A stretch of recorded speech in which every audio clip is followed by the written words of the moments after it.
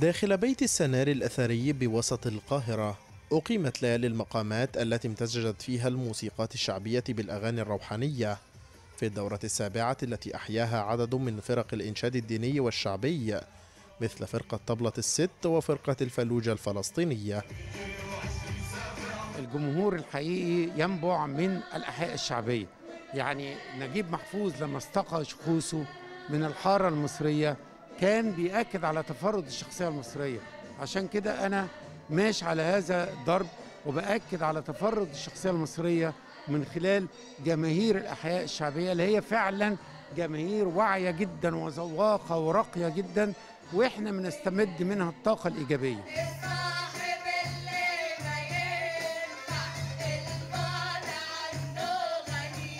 وتضم الأمسيات برامج موسيقية وغنائية متميزة ذات صبغة روحانية ودينية حظيت بتفاعل كبير مع محبي هذا النوع من الفنون الإنشادية ورواجا كبيرا بين الجمهور المصري. من أجمل السنوات لليالي المقامات الروحية والإقبال الجماهيري الكبير وحالة بهجة وسرور. وبعدين دايما إحنا رمضان إحنا دايما ج- جملة الفنان انتصار عبد الفتاح يقول لك الدين بهجة. يعني آه، فالحمد لله إحنا محققين السعادة للناس وللجمهور على مدار 13 يوم آه، فدورة موفقة جدا.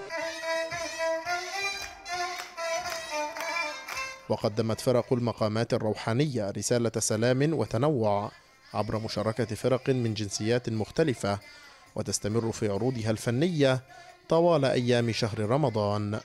بأمسية غنائية عكست ألوانا مختلفة من التراث الشعبي والفلكلوري. أحيت فرق متنوعة أحد ليالي المقامات الروحية التي اجتذبت عددا كبيرا من محبي الفن والغناء. محمد نشأت الغد القاهرة.